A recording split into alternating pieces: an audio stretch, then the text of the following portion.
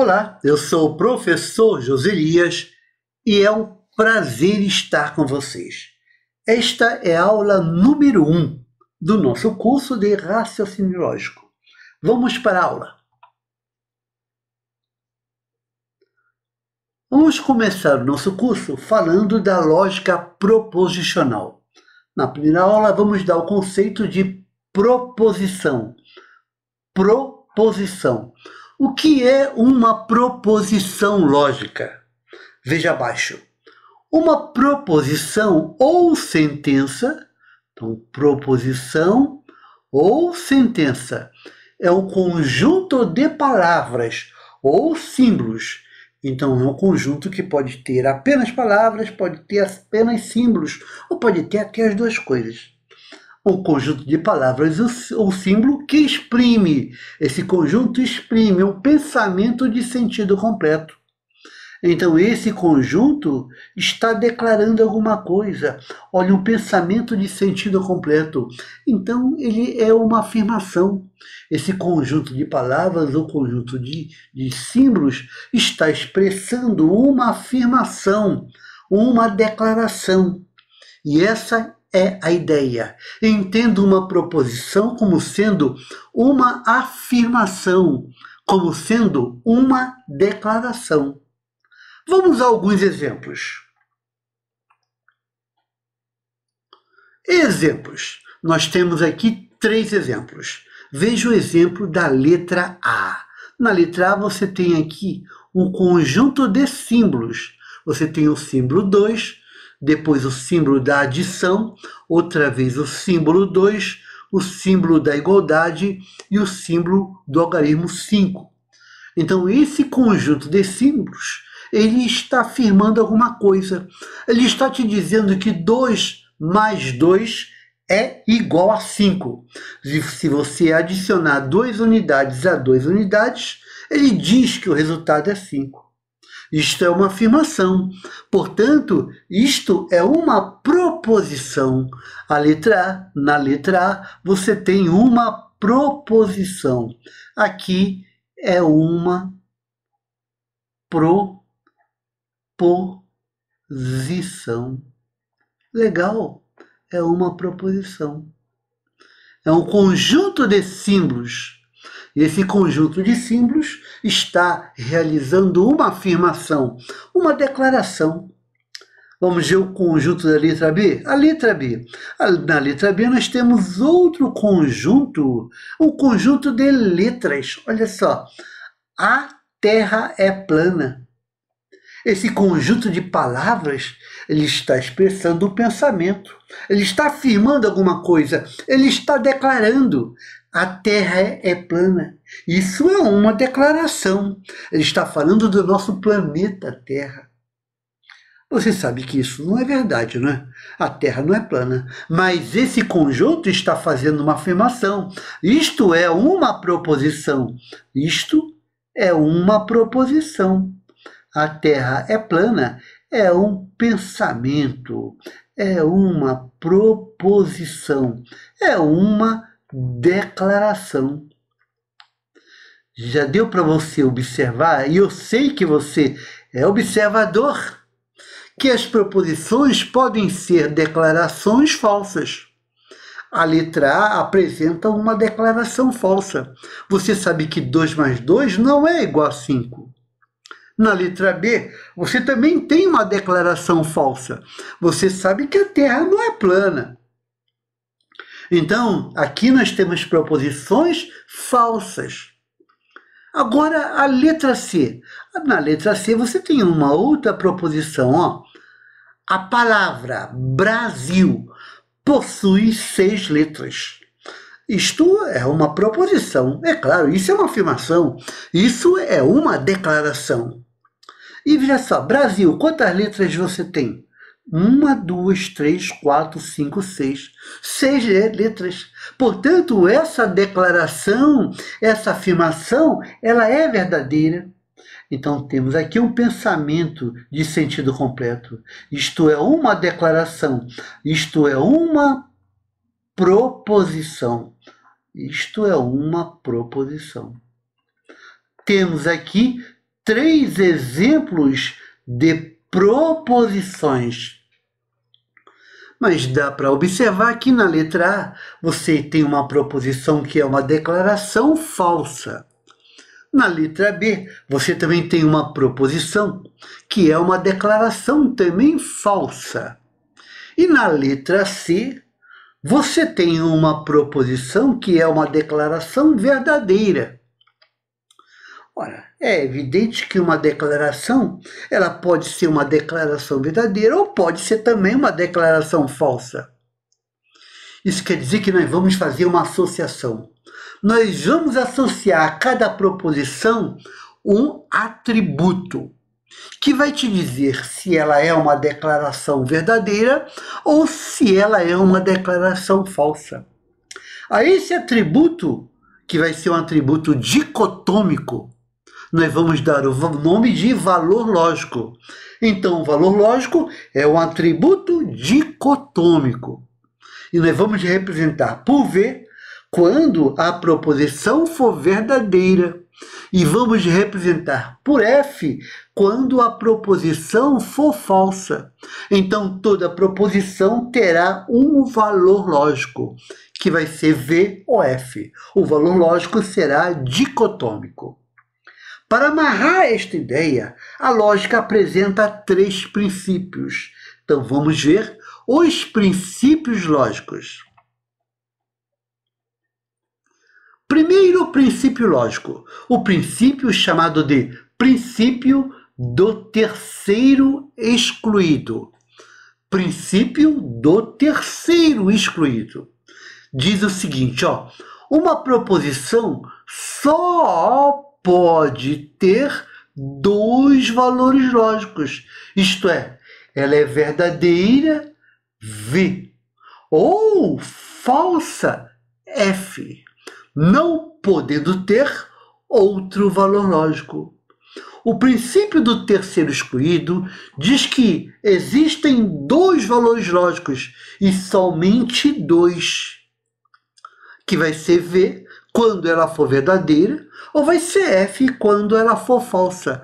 Não existe uma terceira possibilidade. Ele é dicotômico. É dicotômico. V ou F. Exclui uma terceira possibilidade. Por isso que nós vamos chamar de princípio do terceiro excluído. Prosseguindo. Outro princípio lógico é o princípio conhecido como princípio da não contradição. Princípio da não contradição. Ele diz o seguinte: uma proposição não pode ser verdadeira e falsa simultaneamente. O princípio da não contradição diz que não pode ser verdade e falso ao mesmo tempo. Em determinado, em instante, a proposição será ou verdadeira ou falsa. Nunca ela poderá ser verdadeira e falsa simultaneamente. Esse é o princípio da não contradição. Hum, legal. Então já sei que os, os, valores lógicos eles são dois, ou V ou F, e não podem ocorrer simultaneamente. Agora temos um outro princípio, que é o princípio da identidade. Princípio da identidade.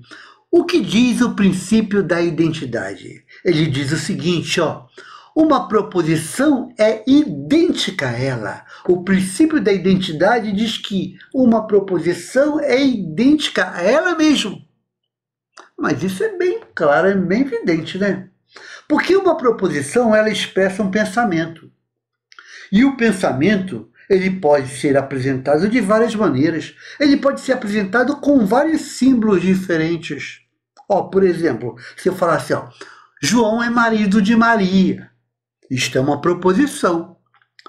Agora, se eu falar Maria é esposa de João, isto é uma outra proposição expressa com outros símbolos. Mas o pensamento é o mesmo, a declaração é a mesma, é a mesma afirmação. Dizer que João é marido de Maria é a mesma afirmação que Maria é esposa de João, apesar dos símbolos serem diferentes. Logo, essas proposições elas são equivalentes, porque você tem aqui o mesmo pensamento, você tem o mesmo pensamento. Em resumo, são três princípios lógicos. Decore. O princípio do terceiro excluído. Olha, princípio do terceiro excluído. O princípio da não contradição e o princípio da identidade. Esses são os três princípios lógicos. Prosseguindo, podemos ir ao, ao exemplo anterior. Vamos voltar nele. Lá no exemplo anterior, nós tínhamos três proposições, da letra A, letra B e letra C. Olha, nós vamos representar as proposições com as letras do alfabeto.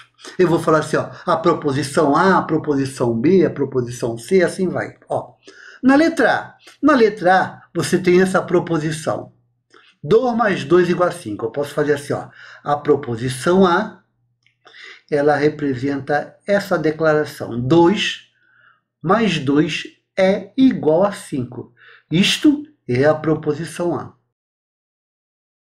Acabamos de observar que a proposição A, 2 mais 2 igual a 5, é uma proposição falsa. Portanto, o valor lógico dessa proposição é f.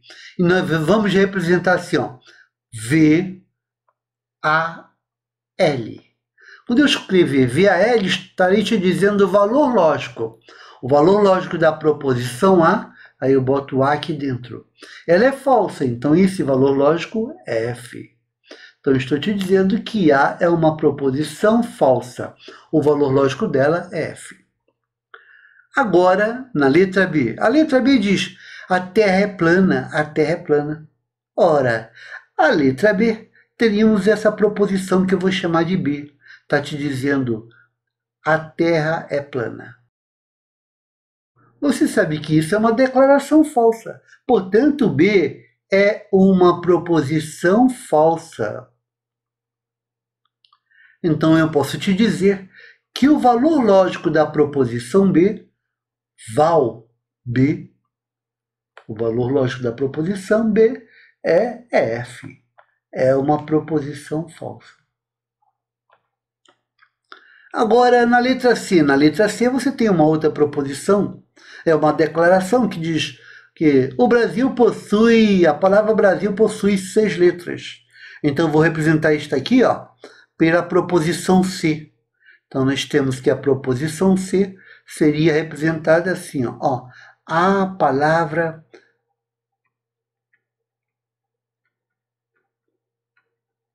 Brasil, a palavra Brasil, esta palavra, ela possui seis letras. Essa declaração é verdadeira, né? É uma declaração verdadeira. Repara, B-R-A-S-I-L. São seis letras. Portanto, esta é uma proposição verdadeira. C é uma proposição verdadeira. Portanto, eu posso dizer que o valor lógico de C val de C, como é uma proposição verdadeira, eu represento por V. C é uma proposição verdadeira. Então, as proposições vão ser verdadeiras ou falsas. Então, o valor lógico vai ter que obedecer àqueles três princípios lógicos. Se por um acaso alguma sentença não obedecer os princípios lógicos, ela não será proposição. Para ser proposição, tem que obedecer, tem que satisfazer os três princípios. Prosseguindo. Você já reparou então que existem sequências que não satisfazem os princípios. Então existem sequências que não podem ser proposições. Veja aqui, ó. Sendo assim, a frase, olha essa frase aqui, ó. Boa sorte, ponto de exclamação. Isto não é uma proposição, pois não admite o atributo verdadeiro ou falso. Esta essa frase aqui, ó, boa sorte, ponto de exclamação. Ela não admite o atributo verdadeiro ou falso. Não tem sentido você dizer que boa sorte, ponto de exclamação, É uma declaração verdadeira, é uma declaração falsa, não tem sentido. Ela não aceita esse atributo. Portanto, não será uma proposição. Aí você então diz o seguinte, ó, existem tipos de sequências que não podem ser proposições. Então vamos ver as sequências que não serão proposições. Veja abaixo. Não são proposições. Primeiro, as exclamações. As sentenças exclamativas não são proposições. Olha aqui, ó. Ó, ponto de exclamação. Quando você fala ó, ponto de exclamação, você não está declarando, não está declarando, não está afirmando nada. Isso não é uma proposição. Olha aqui, ó. Caramba, ponto de exclamação. Aqui não está sendo declarado nada. Então, toda vez que acabar com um ponto de exclamação, você está exclamando, não será uma proposição. Outro tipo de sentença que não pode ser proposição são as sentenças interrogativas, as interrogações. Elas não são proposições, elas são perguntas. Olha aqui, ó. Bota aqui o sinal aqui, ó. ó. Que horas, no plural. Que horas são? Que horas são? Essa aqui, que horas são? Isto é uma pergunta. Isto não é uma declaração. Não estou afirmando nada. Que horas são? É uma pergunta. Não é uma declaração, não é uma afirmação. Logo, não é uma proposição. Você é professor? Ponto de interrogação. Ora, você é professor? Também não é uma declaração, não é uma afirmação. Isto é uma pergunta. Logo, não é proposição. Então, você já, já deu para observar ó, que sentenças exclamativas não são proposições. Sentenças interrogativas não são proposições. Se acabar com ponto de interrogação ou se acabar com ponto de exclamação, ferrou, já não será mais proposição. Outro tipo de sentença que não é proposição é uma sentença imperativa. Sentenças imperativas não são proposições. Olha o seguinte, ó. Seja um bom servidor. Seja um bom servidor. Não é uma declaração, isso é uma ordem. Seja um bom servidor é uma sentença imperativa. Isto é uma ordem. Não estou declarando, estou ordenando. Ó, digite a sua senha. Digite a sua senha não é uma declaração. Isso é uma sentença imperativa. As sentenças imperativas não são proposições. Outro tipo de sentença que não é uma proposição são os paradoxos. Os paradoxos não são proposições. Paradoxos não são proposições. Um paradoxo é um erro de raciocínio. É um raciocínio errado. Um paradoxo não existe, não ocorre no nosso mundo. É impossível você observar a ocorrência de um paradoxo. É um erro de raciocínio. Portanto, não pode ser uma declaração, porque não tem sentido. Logo, não será uma proposição. Olha aqui, ó. Esta, esta sentença é falsa.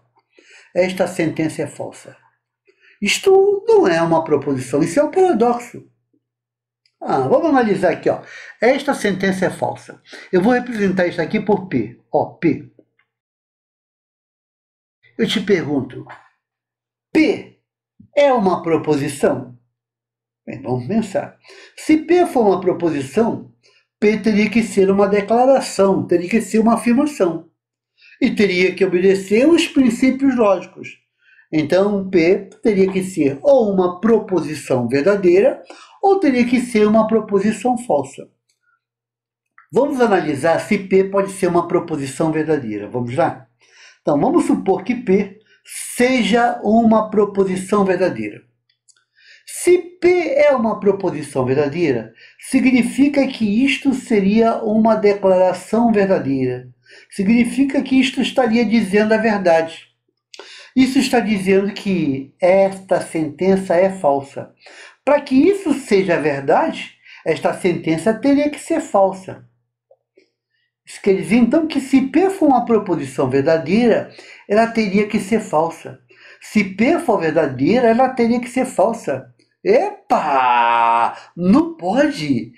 Pelo princípio da não contradição, uma proposição não pode ser verdadeira e falsa simultaneamente, lembra?